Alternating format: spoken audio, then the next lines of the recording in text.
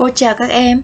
Hôm nay cô trò chúng ta sẽ cùng ôn tập để chuẩn bị cho bài thi cuối học kỳ 2 môn giáo dục công dân lớp 6.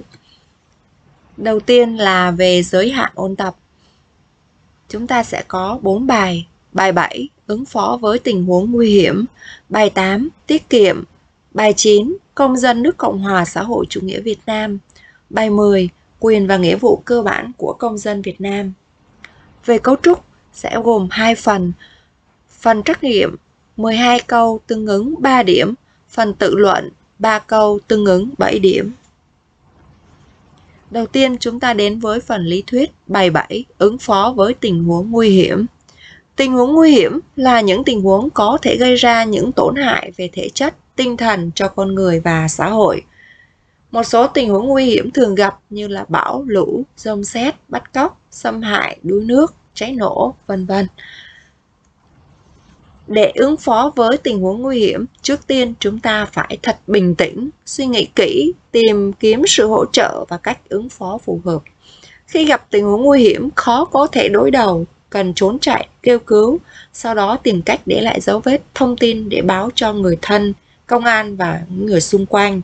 Một số trường hợp cân nhắc nên đánh thật mạnh vào chỗ hiểm của kẻ xấu nếu có thể để tự bảo vệ mình. Sau đây là một số số điện thoại quan trọng mà các bạn cần ghi nhớ để khi cảm thấy bản thân hoặc người khác bị đe dọa thì chúng ta có thể liên hệ. Các em có thể quan sát những số điện thoại này trên màn hình và ghi nhớ giúp cô.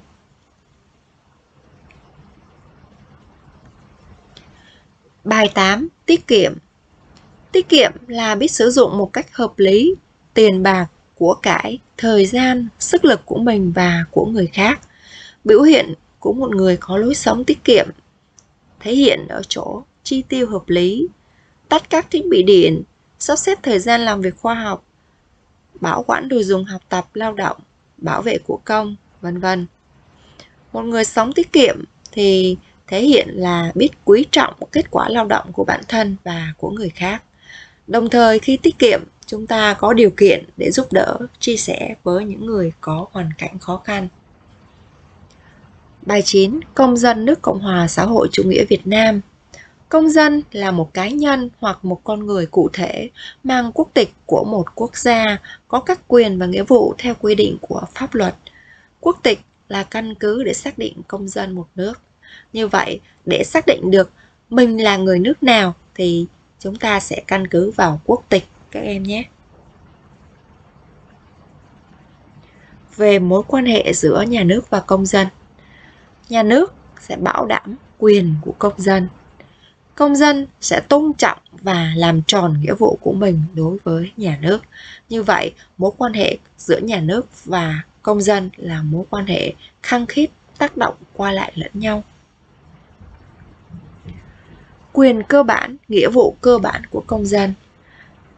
Quyền cơ bản của công dân là lợi ích cơ bản mà người công dân được hưởng và được luật pháp bảo vệ.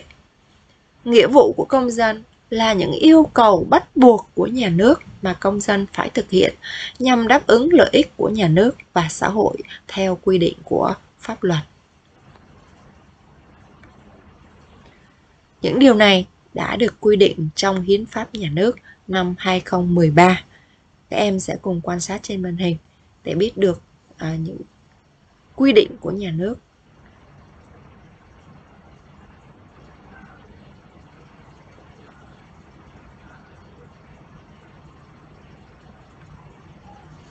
Chúng ta đến với phần thứ hai, phần trắc nghiệm và bài tập vận dụng. Phần này cô trò chúng ta sẽ cùng thực hiện ở trên lớp ở tiết ôn tập các em nhé. Cô chúc các em ôn tập và thi đạt kết quả tốt.